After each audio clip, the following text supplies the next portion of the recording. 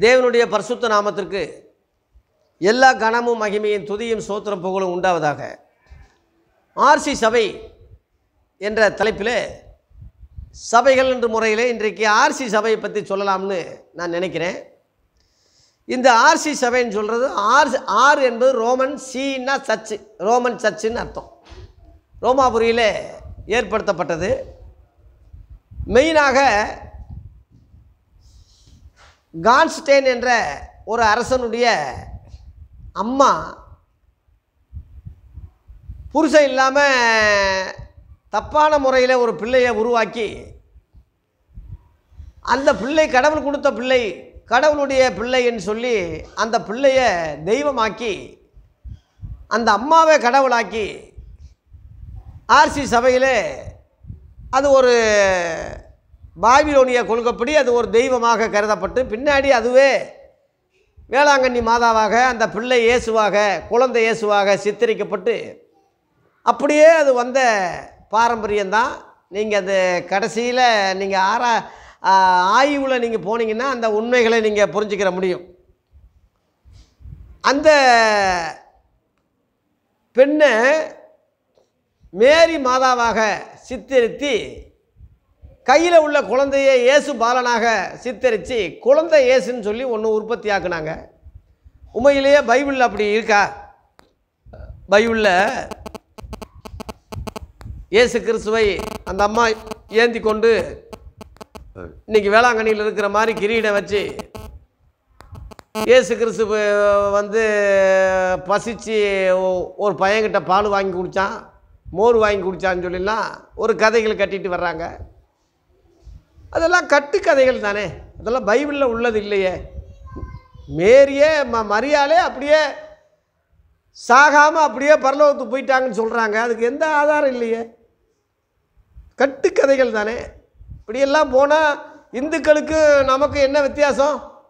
Bible எதுக்கு அப்போனா நமக்கு இந்துக்களுக்கு எந்த தலைமையோ எந்த ஒரு இதுவோ கிடையாது. கண்டதெல்லாம் காட்சி கொண்டதெல்லாம் கோலம். அவன் வச்சது சட்டம் அவன் வச்சது சாமி ச- கடவுள் இப்படித்தான். அதே தானே இப்போ இங்கே நடந்துக்கிட்டு இருக்கு? வேளாங்கண்ணி மாதான்னு சொல்கிறான் வாடிப்பட்டியில் அந்த மாதா வந்துருச்சான் பூண்டி மாதா சந்தன மாதா மேரி மாதா எங்களுக்காக வேண்டிக் கொள்ளும் என்று சொல்லி மாதாவை எங்களுக்காக ஏ- மகனிடம் வேண்டிக் கொள்ளும்னு சொல்கிறாங்க அப்படி வேதத்தில் எங்கே ஆதாரம் இருக்குது அது எப்போ சொல்லர்கள் அப்படி சொன்னாங்களா? நான் மரியாதை குறை சொல்லலை. மரியாதை வந்து ஒரு தேவனுடைய பிள்ளை.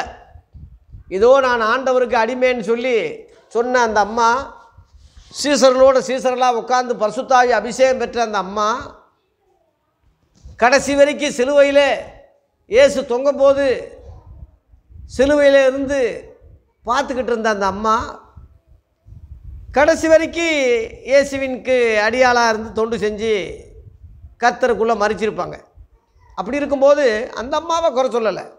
அந்த அம்மா பேரால் நடக்கிற அநியாயங்கள் அட்டூழியங்கள் பிசாசுடைய காரியங்கள் நிறையா இருக்குது எங்களுக்காக வேண்டிக் கொள்ளணும்னா அந்த அம்மா எங்கே வேண்டிக்கொள்ள முடியும்? அந்த அம்மா தான் மறிச்சாச்சே. செத்துப்போன அம்மா எப்படி வேண்டிக் கொள்ள முடியும்? தேவனிடத்தில் வேண்டிக் கொள்ளுகிற ஒரே பவர் உள்ளவர் இயேசு ஒருவர் தான். என்னை இல்லாமல் ஒருவனும் பிதாவிடத்தில் வரான் என்று யோவான பதினாலு ஆறில் சொன்னார். ஒன்று யோவா ரெண்டாம் அதிகாரத்தில் பிதாவிடத்தில் பரிந்து பேசிக்கிட்டு இருக்காருன்னு போட்டிருக்கு. ஒன்று திபத்தே ரெண்டாம் அதிகாரம் அஞ்சாம் வசனத்தில் தேவனுக்கும் மனுஷனுக்கும் மஸ்தித்தர் ஒருவரே அவர்தான் மனுஷனாகி இயேசு அவரே என்று பே பவுல் சொல்கிறான் வேதத்தில் இப்படி பல காரியங்கள் இருக்கும்போது எங்களுக்காக வேண்டிக் கொள்ளும் சொல்லி மாதாவை போய் நம்ம எப்படி சொல்லலாம்? வேதாகம அடிப்படையில் மகனே உன்னைய தேடு தேடுன்னு தேடினமே பண்டிகை நாளில் இது உங்களை தொலைச்சிட்டமேன்னு சொல்லி லூக்கா ரெண்டாம் அதிகாரம் நாற்பத்தி ஒம்போதில் இயேசுவை தொலைச்சிட்டு அந்த அம்மா மூணு நாளாக தேடுது. அந்த அம்மா ஒரு தெய்வமானா மூணு நாளாக ஏன் தேடணும் இயேசுவை? அத்திமரத்தின் கீழே இருக்க கண்டேன்னு ஏன் சொன்ன மாதிரி போயிருக்கலாம்ல.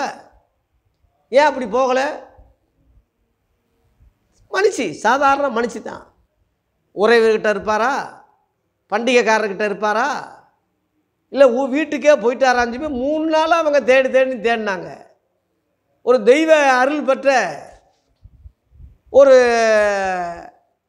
தரிசனம் சொல்கிற ஒரு தெய்வ கலாச்சாரம் பெற்றவங்க அப்படி தேட மாட்டாங்க. கரெக்டாக போய் இயேசுவை கண்டுபிடிப்பாங்க.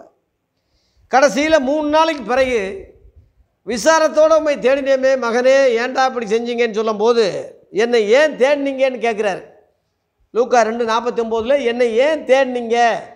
நான் பிதாவுக்கு அடுத்தவைகள் இருக்கிறது உங்களுக்கு தெரியாதா? ஏன் என்னை தேடுறீங்கன்னு? இந்த பன்னெண்டு வயசுலேயே இயேசு பிதாவின் சித்தத்தை செய்ய ஆரம்பித்தார் ஆனால் அவங்களுக்கு அது புரியலேனே போட்டிருக்கு. அவருடைய தாய் அதை அறியாதபடினாலே போட்டிருக்கு.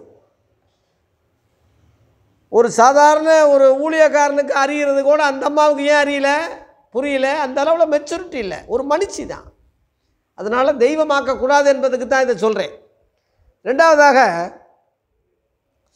யோவா ரெண்டாம் அதிகாரம் நாலாம் அவசரத்தில் காணா ஒரு கல்யாணத்தில் திராட்சரசம் இல்லாத போது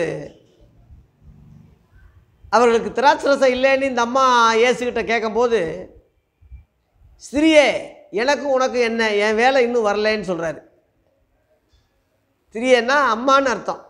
சாதாரணமாக அம்மான்னு கூப்பிட்றோம்ல யாரை சகோதரிகள் யாரை கூப்பிட்டாலும் அம்மா வாங்கம்மான்னு கூப்பிட்றோம். அந்த அடிப்படையில் ஸ்திரியன்னு சொன்னார். அம்மான்னு சொல்லலை தாயின்னு சொல்லலை. இயேசுவுக்கு உலக பிரகாரமாக தாய் இருந்தாலும் ஆவிக்குரியபடி அவர் வந்து ஆதி அந்தம் உள்ளவர் தேவகுமாரன் தேவனோடு இருந்தவர் உலகத் தோற்றம் முழுவதாகவே ஜெனிப்பிக்கப்பட்டவர். அவருக்கு தந்தை ஏது அப்பா ஏது உலக பிரகாரமாக மனுஷனை ரட்சிக்கிறதுக்கு அவர் மனுஷனாக வந்ததுனால ஒரு தாய் மாம்ச ரீதியில் சொல்லப்பட்டதே தவிர அது அந்த அம்மாவுக்கே தெரியும். அதனால தான் அந்த அம்மா கடைசி வரைக்கும் இயேசுவை ரொம்ப நேசித்து இயேசுவை தேவகுமார்னு அண்டி கொண்டதுனால அந்த யோசேப்பு கூட இயேசு பிறக்கிற வரைக்கும் அந்த அம்மாவை தொடலைன்னு இருக்குது அந்த அளவில் அவங்களுக்கு தெரியும் இயேசு தேவகுமார்னு அதனால் உனக்கு எனக்கு என்ன என் வேலை இன்னும் வரலேன்னு சொல்லி அவர் வேலை வந்தபோது அதை செய்தார். மூன்றாவதாக சிறியோ சிறிய அதே அதோ உன் மகன் என்று யோவான் பத்தொம்போது இருபத்தி ஆறில் சொன்னார். இந்த அம்மா பார்த்துக்கிட்டே இருக்காங்க மகனே என்னை விட்டு போறியான்னு. இல்லை நான் உன் மகன் இல்லை அதோ உன் மகன் சொல்லி அப்போ சொன்னாயி யோவானே கையை காட்டினார். அவன் சேர்த்து கொண்டான் இருக்கு. அதனால் சரீர ரீதியில் நான் உனக்கு மகன் அல்ல. ஆவிக்குறி ரீதியில் சீசர்கள் தான் உனக்கு மகன். என் பிதாவின் நிச்சயத்தின்படி செய்கிறவன் தான் எனக்கு தாயும் சகோதரனும் சகோதரி அப்படின்னு சொல்லி சொன்னார் இல்லையா? மற்ற பன்னிரெண்டாம் அதிகாரத்தில் நாற்பத்தி ஆறுலேருந்து ஐம்பது வரை படிக்கும்போது என் தாயார் யார் என் சகோதரர் யாருன்னு சொல்லி இயேசுவின் சொந்த தாயை சொந்த சகோதரர்களை பார்த்து சொன்னார். சீசர் பக்கம் கையை நீட்டி இவங்க தான் எனக்கு தாயும் சகோதரனும் பிதாவின் சித்தத்தின்படி செய்கிறவன் தான் எனக்கு சகோதரன் சொல்லி அங்கே பிரித்து காட்டினார். அதே தான் சிலுவையில் சொல்கிறாரு அதோ உன் மகன். அதனால் நான் வந்து என் பிதாவின் சித்தத்தை செய்ய வந்தேன். சிலுவையில் முடிந்ததுன்னு சொல்லி நான் போக போகிறேன் அதனால் என்னைய ஒன்றும் சொல்ல வேணாம்னு சொல்லி சொன்னார். அதனால் எபிரே பதிமூணு பதினஞ்சின் படி இயேசு கிறிஸ்து மூலமாக நம்ம தேவனிடத்தில் எல்லாரும் போகணுமே தவிர இயேசு கிறிஸ்துவே வழி அவரே சத்தியம் அவரே ஜீவனே தவிர மரியாலோ அந்தோணியாரோ அருளப்பரோ இன்னாசீரோ சின்னப்பரோ யாகப்புறம் ஒவ்வொருவரையும் ஒரு அப்பராக்கி தெய்வமாக்கி திருவிழாக்கி கொண்டாடுறது. அது உலக பாரம்பரியமே தவிர அது தேவனுடைய பா பார்வையில் கிடையாது. அந்த அம்மா ஒரு நல்ல ஒரு ஒரு தெய்வ பிள்ளை தான். மற்ற மார்க் ஆறாம் அதிகாரம் ஒன்றுலேருந்து மூணு வரை இயேசுவுக்கு பிறகு நாலு ஆம்பளை பையங்க அந்த அம்மாவுக்கு பிறந்திருக்காங்க. பொம்பளை பிள்ளைங்க ரெண்டு பேருக்கு மேலே அந்த அம்மாவுக்கு இருந்திருக்கு. தச்சு வேலை இயேசு செஞ்சு காப்பாற்றிருக்கார் அந்த குடும்பத்தை. இந்த வரலாறெல்லாம் யூதர்களே சொந்தக்காரங்களே சொல்லியிருக்கிறாங்க. அதனால் மரியாள் வந்து யோசேப்புக்கு நியமிக்கப்பட்ட ஒரு ஒரு தெய்வ பக்தி உள்ள ஒரு அம்மா. ஒரு நல்ல விசுவாசி ஒரு நல்ல தேவனுடைய மனுஷி. இப்படித்தான் எடுத்துக்கிறணுமே தவிர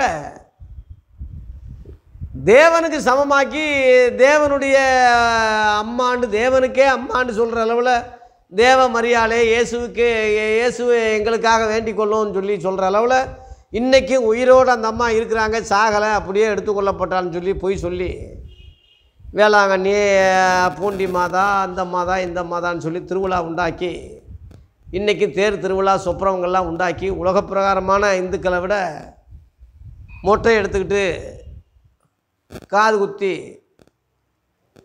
கோழி அறுத்து இப்படி நிறையா விஷயங்கள் இந்துக்களை விட விக்கிரகாராதனைகள் ம மக்களை விட மோசமாக போகக்கூடிய அளவில் இருக்கிறாங்க. அவங்கெல்லாம் இன்னும் அடுத்து மனம் திரும்பி ஆண்டவராகிய இயேசு கிறிஸ்துவை மட்டும் வழிகாட்டியாக அவரே ஜீவனாக சத்தியமாக அவரே மெயினாக வைத்து செயல்பட்டால் பரலோகத்துக்கு போக முடியும். இல்லாவிட்டால் பேர் கிறிஸ்தவங்களாக எங்களுக்கு மாதா தான் வழிகாட்டி போப்பு தான் எங்களுக்கு தலைவர்னு சொல்லிட்டீங்கன்னா ஒரு காலம் உங்களை அறியவில்லை அக்கிரமம் செய்கிறரை என்னை விட்டு அகன்று போங்க. வேறு வழியாக ஏறுகிறவன் கல்லனு கொள்ளைக்காரன்னு நியாயந்திருப்பு நாளில் சொல்லிடுவார். அதுக்கு நீங்கள் தப்பித்துக்கொள்ள இன்னைக்கு கடைசி நாட்களில் இந்த செய்தி மூலமாக ரட்சிக்கப்பட்டு மனம் திரும்புங்க. கர்த்தர் நம்மை ஆசீர்வதிப்பாராக. ஆமேன்.